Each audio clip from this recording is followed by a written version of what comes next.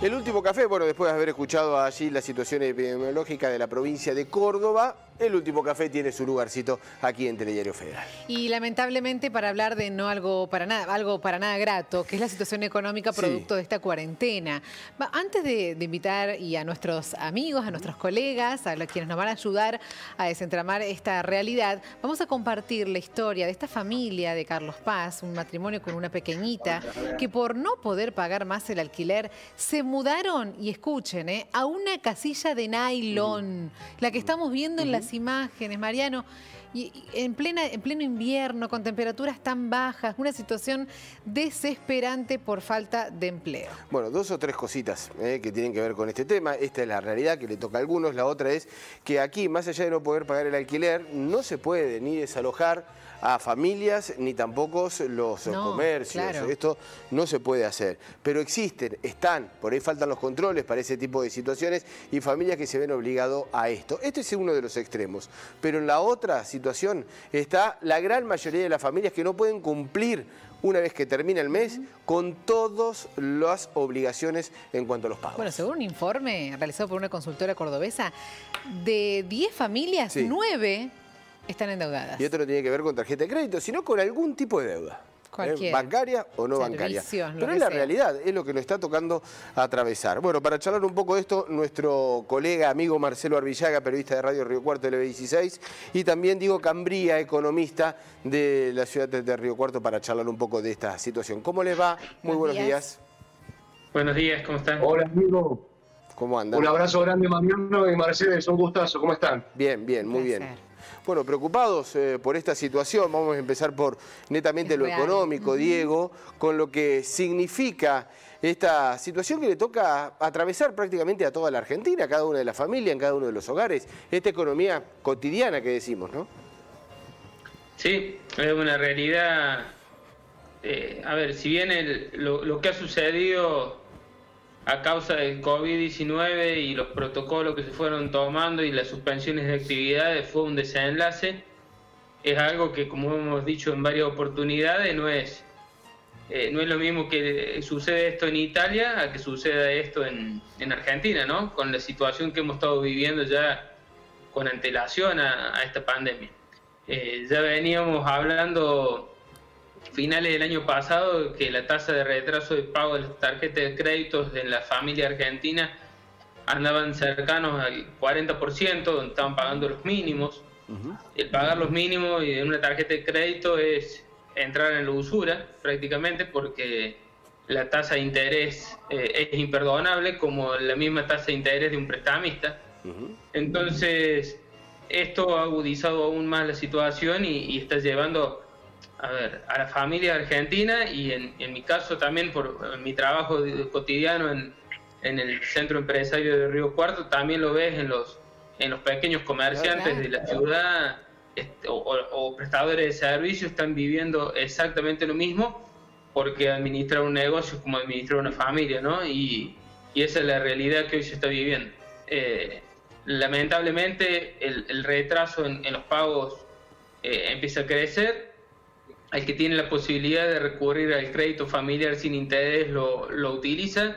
Lo que último que deja de comprar es comida. Sí.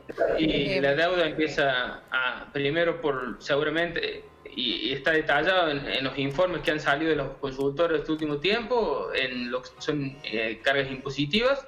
Eh, los impuestos va a ser lo, lo primero que deja de pagar, algo de servicios y después el, el, comer con la tarjeta de crédito y bueno, ver cómo se puede vas, autofinanciar. Vas eligiendo qué, qué, podés pagar. Bueno, nos sumamos a Marcelo también a, la charla, es una dura realidad, pero además decíamos que de nueve de cada diez familias están endeudadas. En algún momento hay que pagar también todo eso.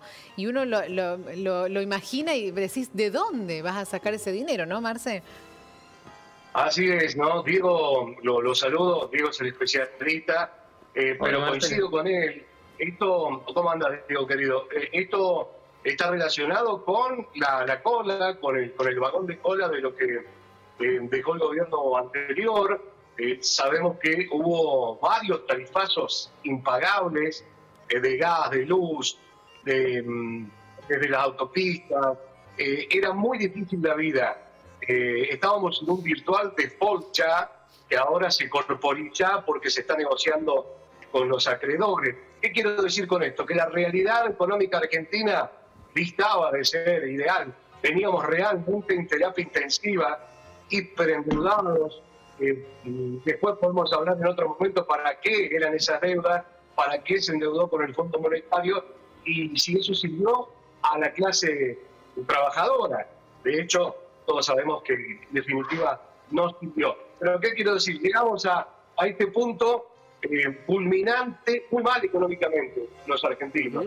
Y esto, como dice Diego, ha sido el desencadenante final, la frutilla de postre, lamentablemente. Ayer hablábamos con algunos oyentes de la radio que decían, eh, me da bronca que yo no puedo pagar, mi hijo se quedó sin trabajo y hace tres meses que no cobra y lo estoy bancando a él y a mi nieto, me decía este señor, y resulta que, por ejemplo, eh, me llegan intimaciones de rentas de la provincia.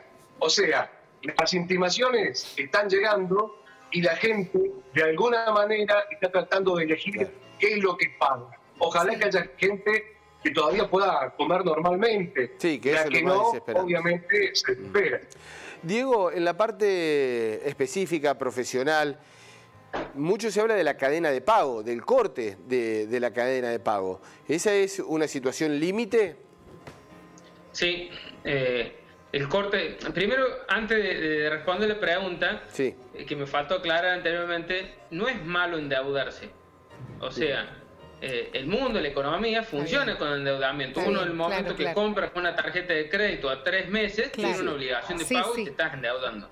El problema es la capacidad de pago de la deuda que uno contrae. Claro.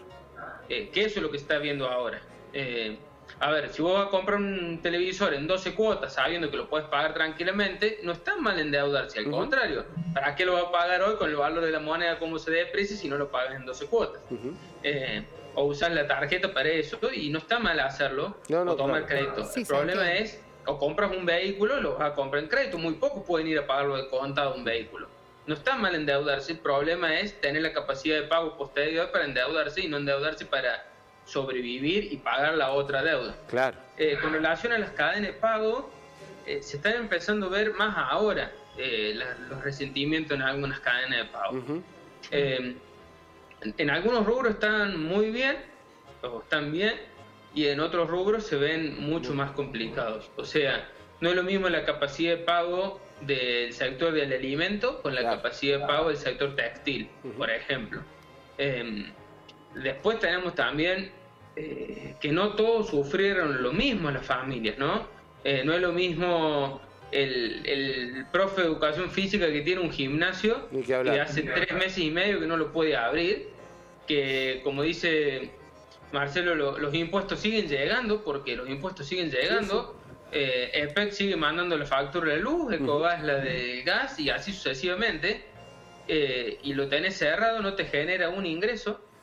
Y bueno, esa familia y todas esas familias que dependen, por ejemplo, de esa actividad, se ven resentidas totalmente. Sí, por supuesto. Distinto de que pudo cobrar, eh, por el empleo que tuvo, pudo cobrar el sueldo normal, esa es otra realidad. Pero la cadena de pago, sí. A ver, como se ve afectado en la familia, el corte de la cadena de pago también se ve afectado a nivel eh, comercial, eh, se ve afectado la cadena de pago, eso es... Y esto es un efecto...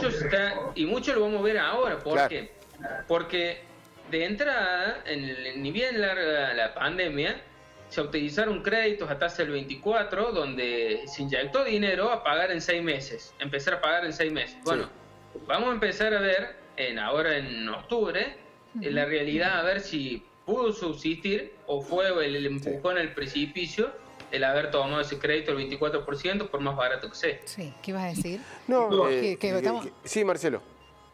No, se me ocurre la metáfora del náufrago que está durante varios meses comiendo poco y nada, está sin ropas, asoleado, solo, y en el último momento, encima de todo, le vino una tormenta, un huracán, un vendaval, ¿no? Hemos visto muchas películas así. Bueno, en la Argentina le está pasando eso. La tasa que había el año pasado y estos últimos cuatro años, lo decía Diego, que es economista, eh, del mínimo de las tarjetas de crédito, si te pasabas un mes al otro, era directamente de usura absoluta. O sea, la gente se esforzó para sobrevivir ya en estos últimos cuatro años.